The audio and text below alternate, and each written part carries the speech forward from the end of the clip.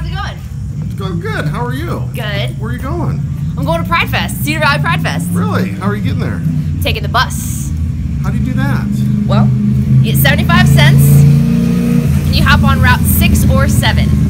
What day is Pride Fest? Saturday, August 27th. Okay, great. Well, what if I don't live by you and I can I take the bus? Yeah. You can hail the bus anywhere along the route. How do I know what, where the route is? Go to cedarvalleypride.com. Awesome.